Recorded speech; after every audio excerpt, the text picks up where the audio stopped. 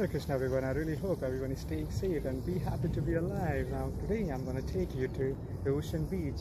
Finally, I'm off today, so let's do some adventure. I'm up on the hill, then I have to go down, then up. I'll see the ocean beach. I just have to press this button to cross the road, wait for the green light to come by and walk. Look at the beach there, I have to go all the way down. Let's do it. We are here. I'm excited. I'm sure you guys will be excited. I'll try and show you around within one minute, whatever I can show you.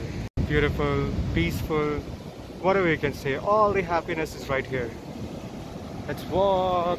A lot of dog walkers. Wanna see? See a lot of dogs. They're walking around. Lesson to learn. Whatever obstacle or stones they are facing, they are still moving. They don't stop. That's how we should be. Smile and be happy.